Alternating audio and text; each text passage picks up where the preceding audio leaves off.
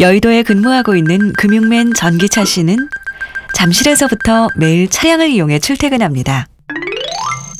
매일 밤 충전해둔 소나타 플러그인 하이브리드를 이용해서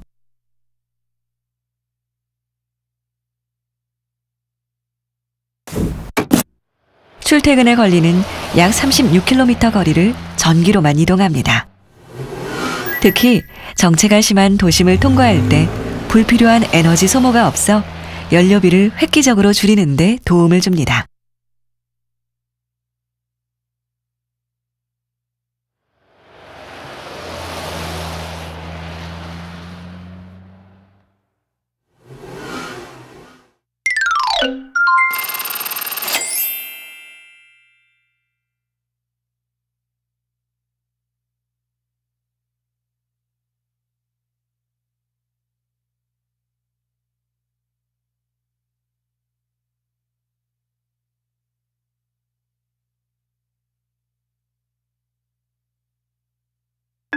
또 강남에 거주하고 있는 이환경 어머니는 초등학생 아들과 유치원생 딸을 키우고 있습니다.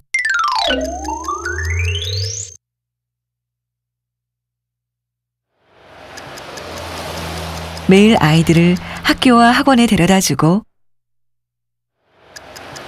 동네 모임에 갈 때 소나타 플러그인 하이브리드를 전기차처럼 사용합니다.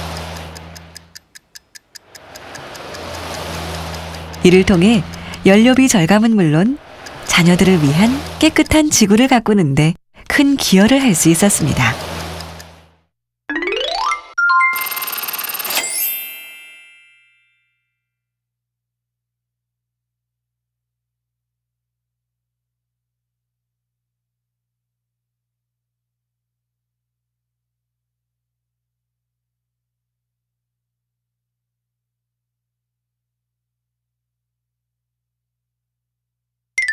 헤이리에 살고 계신 배터리 사장님은 강남에 있는 매장을 관리하기 위해 매일 도심과 교회를 오갑니다.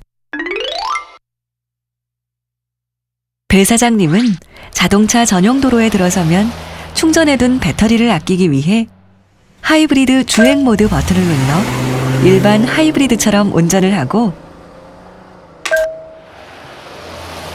정체가 심한 도심에 진입하면 다시 전기차 모드로 바꿈으로써 연비를 높이고 배기가스를 최소화하였습니다.